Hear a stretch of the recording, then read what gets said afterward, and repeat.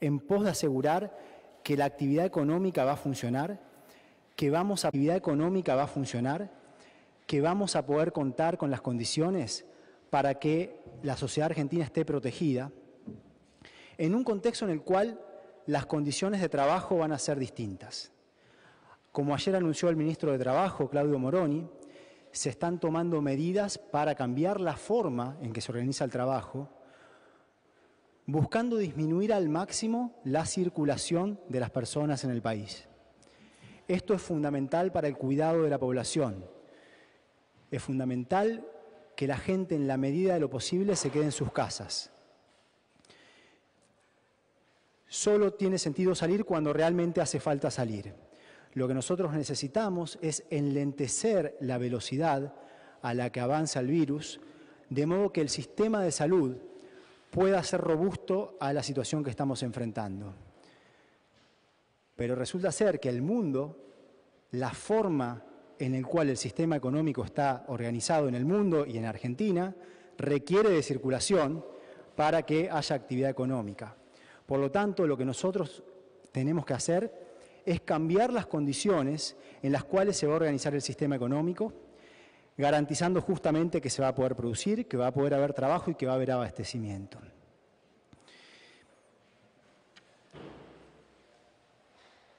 Lo que anunciamos aquí es un conjunto de medidas, eh, primero que buscan asegurar el ingreso de las familias y cuidar el trabajo, y entre ellas lo que estaremos haciendo eh, a partir del día de hoy es eximir temporariamente del pago de contribuciones patronales a los sectores afectados de forma crítica por lo que es esta pandemia del coronavirus. Esto va a abarcar a empresas que se dediquen a actividades de esparcimiento, como los cines, los teatros, los restaurantes, el turismo, el transporte de pasajeros y de hoteles. Se va también a ampliar eh, lo que se conoce como el programa de recuperación productiva. Va a haber sectores de la economía que justamente por los cambios en los patrones de vida y en los patrones de gasto van a sufrir estos efectos, van a enfrentar menor demanda. Lo que va a hacer el Estado es ayudarlos pagando una parte del salario de los trabajadores, eh, ayudando de ese modo a los empleadores. Se va también a reforzar el seguro de desempleo. Aquí lo que se está haciendo es una acción coordinada con muchos ministerios que todos ellos forman parte del Gabinete Económico y Social. Esto es parte de un programa, de un paquete integral y está relacionado a lo que se anunció en, eh, esta tarde y hoy al mediodía, eh, tanto por el ministro de Transporte como el ministro de Desarrollo Social y el director ejecutivo del ANSES. Entre ellas medidas se anunciaron algunas para proteger a los sectores más vulnerables, como la implementación de un pago extraordinario de la asignación universal por hijo, que es equivalente al monto de un beneficio mensual de 3.100 pesos. También las personas que hoy reciben una única jubilación o pensión mínima van a cobrar un adicional por una única vez de 3.000 pesos. Y se va a fortalecer la provisión de alimentos en comedores comunitarios y en espacios de contención de sectores vulnerables. También vamos a aumentar en 100 mil millones de pesos el presupuesto para la inversión en obra pública. Esto va a estar destinado a obras viales, de infraestructura económica, de construcción y refacción de viviendas, de construcción y refacción de escuelas y de turismo. Entendamos que el sistema productivo tiene que seguir funcionando. Tiene que seguir funcionando, pero de una forma en la cual la gente circula menos. Este tipo de programas justamente va a permitir que la gente pueda trabajar más cerca de sus hogares y que haya un multiplicador de la actividad al nivel de los barrios. Junto al Ministerio de Desarrollo Territorial y Hábitat se estará relanzando el programa Procrear, que tiene justamente como objetivo mover la actividad de la construcción. Va a haber dos modalidades del programa. Una es una modalidad ya conocida para construcción y refacción de viviendas. Se lanzarán 100.000 créditos en esta línea. Y la otra va a ser una nueva línea rápida para pequeñas refacciones y mantenimiento de los hogares. Se van a lanzar 200.000 créditos de hasta 30.000 pesos cada uno y se continúa contemplando el, tomar nuevas medidas y adicionales medidas de crédito eh, como parte de este programa. Entendamos que estamos en circunstancias que evolucionan todo el tiempo, circunstancias que son inusuales, son nuevas en el mundo. Y por lo tanto nosotros, más allá de estos anuncios, día a día estaremos monitoreando la situación y, continuaremos anunciando nuevas medidas. Ah, como parte de este programa eh, Procrear Nuevo, eh, va a haber créditos para pintar casas, arreglar baños, cocinas, revocar paredes, impermeabilizar techos eh, y otros. Estamos en una situación en la cual es absolutamente esencial que no haya prácticas especulativas. Nosotros vamos a ser muy duros con cualquier abuso y práctica especulativa. Vamos a tomar las medidas que corresponden para garantizar que hay abastecimiento y que no hay prácticas de precios en las cuales quienes forman precios se aprovechen de la situación. El ministro Matías Culfas va a dar más precisiones al respecto, eh, tanto en la cuestión de precios, en la cuestión de abastecimiento, en la cuestión de créditos y en todo lo que refiere al esquema productivo en general. Matías, dejo con vos. Bueno, gracias Martín. Buenas tardes a todos y a todas. Como señalaba Martín, es eh, absolutamente necesario tomar eh, medidas de emergencia en un contexto que es de emergencia, una emergencia que tiene un origen en una crisis eh, generada a nivel internacional, una crisis de dimensiones poco conocidas y que, insisto, están obligando en diferentes países a tomar medidas de excepción justamente para poder eh, proteger a la población para poder tener los cuidados necesarios y defender su sistema productivo.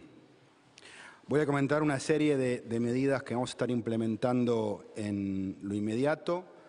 Por una parte, vamos a generar un sistema de precios que este, establezca un conjunto de precios máximos a los cuales deberán comercializarse dentro del mercado interno el cual será establecido por un periodo de 30 días, justamente para poder ir dando seguimiento a la situación de crisis y poder interpretar la situación que estamos viviendo y, como decía recién Martín, evitar que eh, posibles prácticas especulativas, que algunas se han producido en los últimos días, generen un perjuicio claro en el bolsillo de los argentinos y las argentinas. Son medidas destinadas a cuidar el bolsillo, cuidar los ingresos reales de los hogares de argentinos y argentinas. Estableceremos esos precios de referencia para un conjunto de productos alimenticios, de higiene personal, medicamentos, básicamente lo que tenga que ver con la canasta básica y sobre la base de unas 50 categorías de productos. Esos precios van a estar referenciados con los precios que tenemos registrados en nuestra base de datos de precios claros con fecha 6 de marzo. Es decir, que si se produjeron en los últimos días algunas prácticas especulativas que incrementaron de manera infundada los precios, eh, deben ser retrotraídos con la referencia del día 6 de marzo en base a la información que tiene nuestra Secretaría de Comercio Interior. Vamos a estar publicando próximamente el listado de todos estos productos, que son muchos porque están divididos en estas 50 categorías eh, de producto, y vamos a eh, multiplicar la fiscalización. Eh, no puede pasar, digamos, entendemos perfectamente que se han producido algunas situaciones de desabastecimiento parcial, que ha habido en algunos casos eh, aumentos muy significativos en las compras de alimentos, eh, productos de higiene personal y otros. Hemos visto eh, supermercados que nos han informado aumentos de las ventas de un 100% de un fin de semana al otro, niveles de ventas que son los de un, día de Navidad, un periodo de Navidad. Obviamente este, los supermercados no estaban preparados para este, semejante nivel de demanda y hubo algunos faltantes particulares que luego fueron paulatinamente este, siendo repuestos en, en las góndolas. ¿Por qué digo esto? Porque entendemos que este, hoy la industria tiene una capacidad ociosa. El último dato disponible es el de enero. La industria alimenticia tenía un 58% de utilización de la capacidad instalada. Esto significa claramente que puede producir más. Estamos en permanente contacto con la medio industrial, con eh, la Cámara de Empresas Alimenticias. Es un diálogo que llevamos varias veces al día y entendemos que es perfectamente eh, factible abastecer este aumento de demanda que tiene que ver con esta situación en particular. Entonces, no hay ningún fundamento para que aumenten los precios más que el oportunismo de algunos sectores particulares. No creemos que sea algo generalizado, pero sí queremos tener la capacidad para reprimir esas prácticas. Ayer nos enteramos, por ejemplo, que había eh, alguna, algún local que quería vender un, un, producto de un termómetro digital que costaba hace una semana un precio, ayer lo vendía al triple. Bueno, eso es especulación y la verdad que no es el momento, no es el momento para este tipo de prácticas, nunca lo es, y menos ahora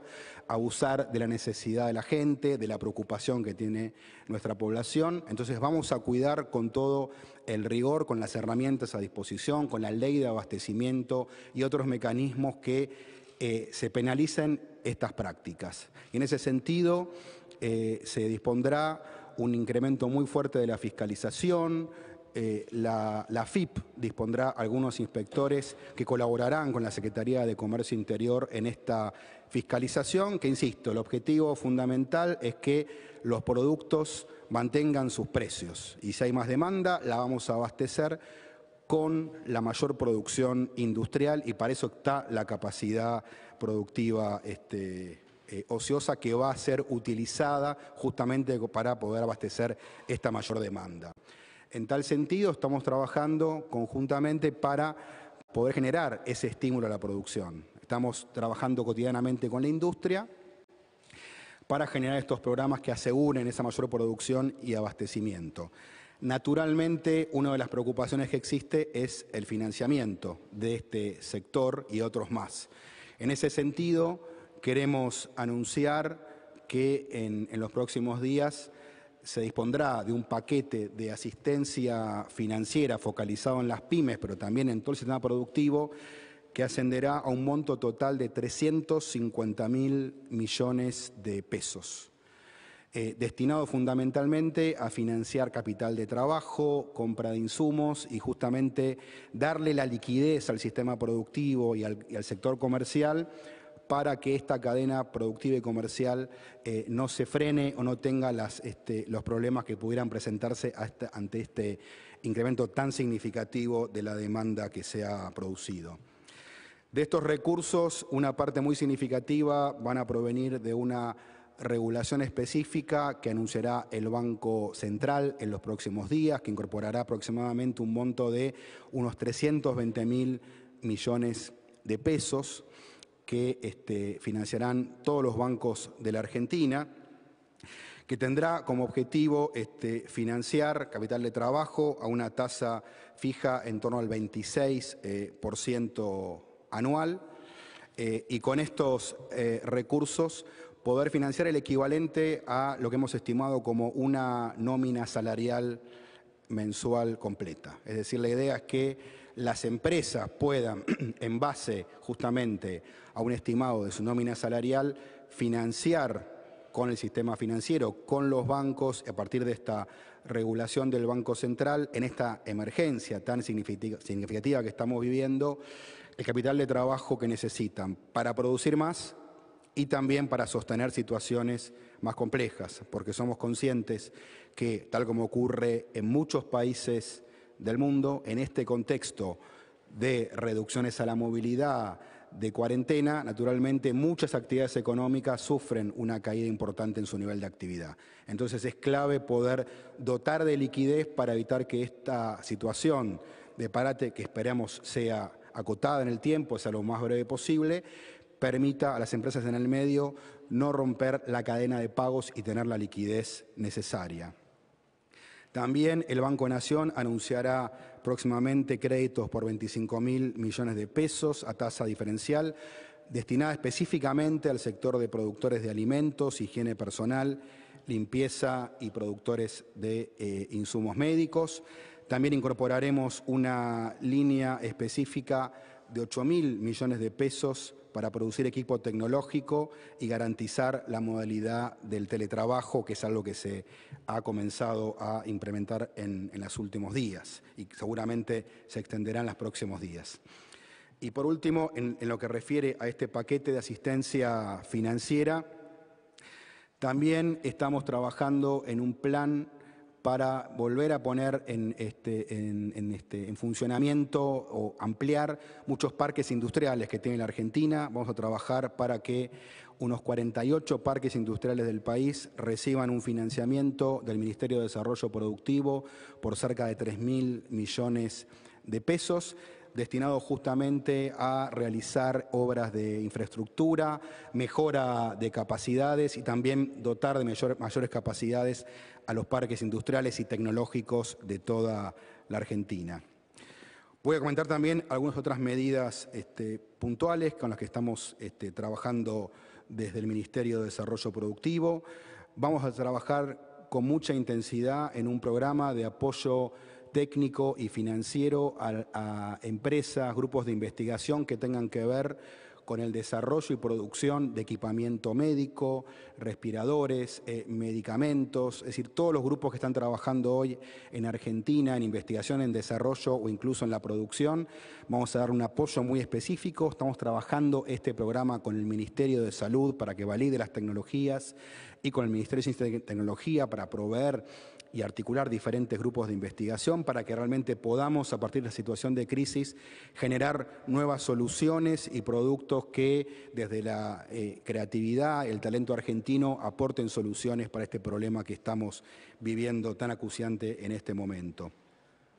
También mencionar eh, que estamos en el día de hoy coordinando un programa de asistencia digital a pymes, es decir, eh, es un momento donde se van imponiendo nuevas modalidades de teletrabajo, pero sabemos que en las pymes hay cierto rezago en muchos casos, entonces estamos generando una red de soluciones digitales y hemos recibido el aporte, la colaboración de las diferentes cámaras como la CESIS, ICOMRA, CASE, Cabase, Argencon, diferentes cámaras de software y servicios informáticos y también de empresas como Mercado Libre, Globant, IBM y Google, entre otras. Entre todo este conjunto de empresas y cámaras y el personal de la Secretaría PYME y otros personal del Ministerio de Desarrollo Productivo.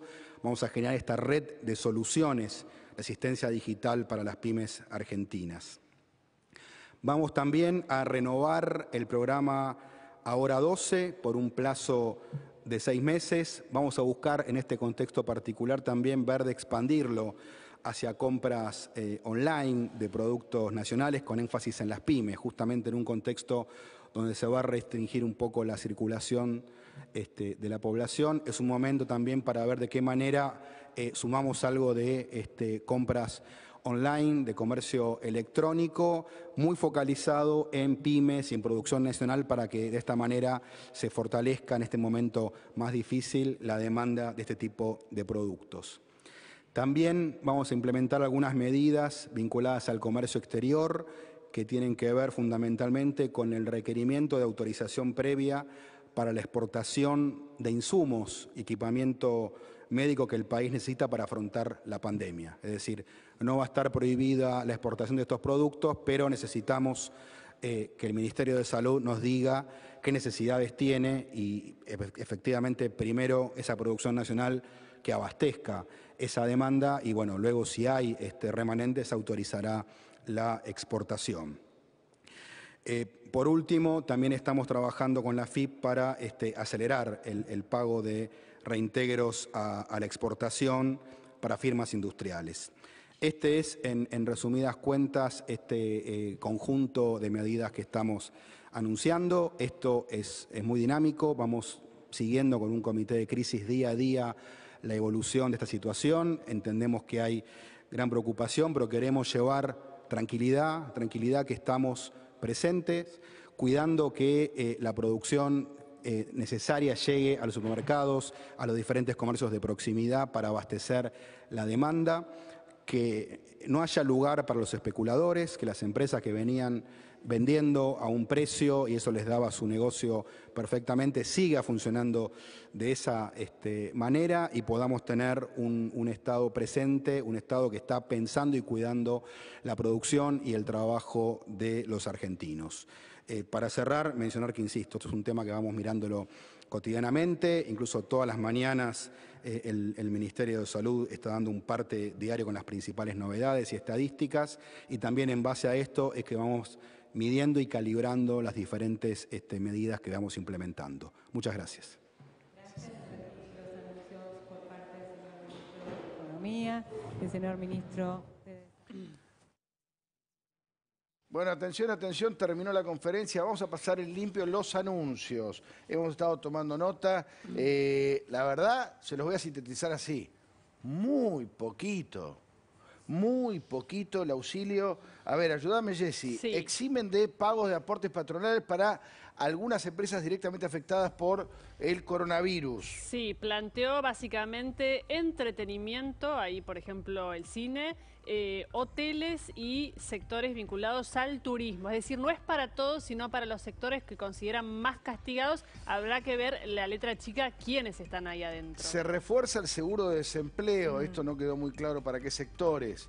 Eh, aumento de la asignación universal por hijo, que ya lo había anunciado esta mañana el gobierno, a 3.000, un bono de 3.100 pesos. Sí, todos los, que, los bonos que se anunciaron hoy más temprano planes sociales, jubilados, aguaches son extraordinarios y son por 3 mil pesos. Una vez. Y a las jubilaciones mínimas, otra vez de vuelta, ¿no? El gobierno dándole eh, algo al sector más bajo de la, de, la, sociedad, jubilaciones mínimas, no hacía el que cobra 100 pesos más que la jubilación mínima. A ese lo siguen sonando ya les habían quitado jubilación, ahora no les dan a ellos el bono. A ver, aumento de presupuesto de obra pública es una medida que eh, no es concreta de nada. Dicen que va a haber más obra pública, eh, da la sensación que hay intento de generar obra pública de cercanía, ¿no? Sí, Y, además el relanzamiento del plan Procrear, este, con una línea de créditos para, digamos, promover la construcción, habló de créditos no solo de vivienda, sino para refracciones en el hogar. Este, digamos, eh, ofreció, digamos, lo que va a estar disponible es esto, que es eh, un beneficio del ANSES, que en su momento tuvo bastante éxito durante la gestión de Cristina Kirchner y que ahora lo presentan como una especie de relanzamiento. Habló de créditos más chicos también, de 30 mil Microcréditos, eh, por 200 mil millones de pesos, 25 mil millones de pesos para productores de alimentos. A ver, da la sensación, fuera de broma lo digo, miren, les voy a dar un dato un dato o dos datos y, quiero hablarlo entre todos. Eh, eh, Donald Trump anunció hoy, o le pidió al Congreso de la Nación, un aporte, una inyección a la economía y a los sectores afectados por el coronavirus por 800 mil millones de dólares. Y el gobierno de Francia anunció hoy una, lo mismo, una inyección, un anuncio como si fuera el de, recién de Culfas, de 300 mil millones de euros. Por supuesto que estamos hablando de otro planeta, Estados Unidos y Francia. Argentina evidentemente no tiene plata. Argentina está tapando con una curita un problema. Argentina está tapando con una curita un problema económico muy fuerte que se viene, o que ya estaba, pero que se multiplica, por el coronavirus. Es importante saber en qué estamos, porque pueden hacer 200 conferencias, pero si los anuncios son estos, son un cuarto de aspirina es media curita frente a un problemón que se viene en la economía argentina. Porque ya venía el problema y porque se multiplica por el coronavirus.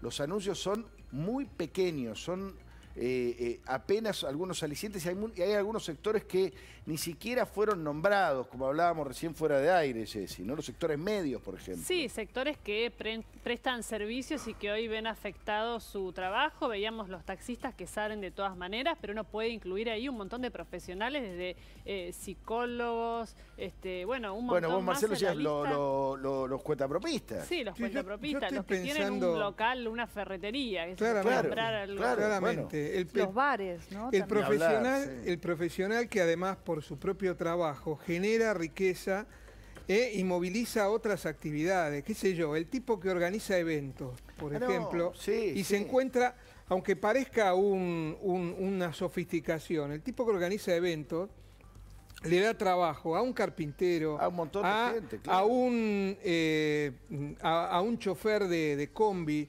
a los tipos que se dedican a instalar eh, luces o escenografías en determinados lugares, a pintores, hay toda una cadena, hay toda una cadena que, ¿Eh? se rompe. e insistimos con esto, arrancamos el programa diciéndoles, el gobierno, Alberto quería hacer una cuarentena total lo paró el equipo económico diciéndole, no hay un mango, no podemos hacer cuarentena total. Eh, vamos a intentar algunas medidas. Bueno, evidentemente no hay plata. Acaba de tuitear Alberto Fernández después de la conferencia, a ver qué, qué, qué puso, dijo. Hay personas especulando con una situación imperdonable para especular. Sépanlo porque avisé, vamos a perseguir a todo el que aumente indebidamente los precios de los elementos necesarios para cuidarnos del coronavirus. De esto quiere que hablemos Alberto Fernández.